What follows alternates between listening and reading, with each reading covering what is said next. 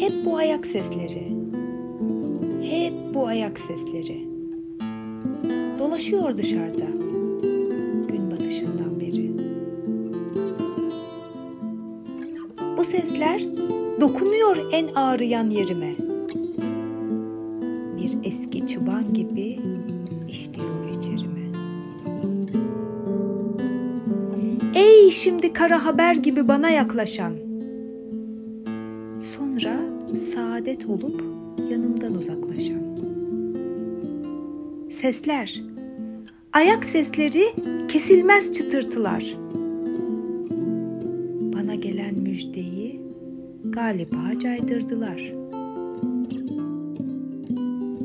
Böyle adım atarlar ayrılanlar eşinden. Böyle yürür gidenler bir tabutun peşinden. Kimsesiz gecelerim bu kesik sesle doldu. Artık atan kalbimde bir ayak sesi oldu. Bir gün sönük göğsüme döştüğü vakit başım benden ayrılıyormuş gibi bir can yoldaşım.